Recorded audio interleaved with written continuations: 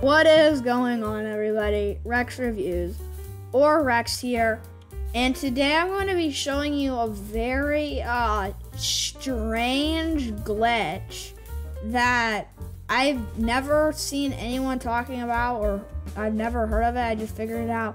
Pretty much what you're going to want to do to do this glitch, you're going to go in first person. Okay, go in first person, then stay in first person throughout this whole glitch. It's how it works.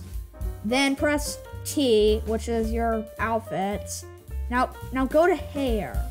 Now, I don't pick the hair that you're wearing. Then go to colors. And then just change it a little bit. And then hit confirm.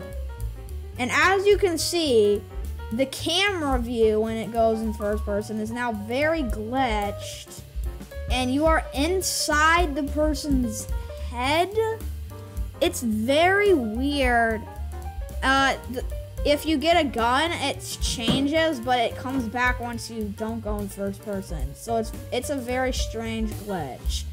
Uh, if you go out and go back in, it it resets it.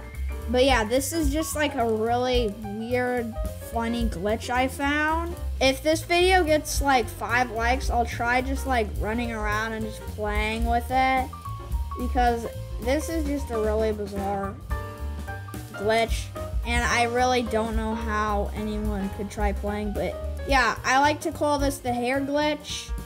Uh, if you uh, enjoyed the video, uh, like it, and please subscribe because I'm going to cosplay as my uh, Wild West character at 100 subscribers.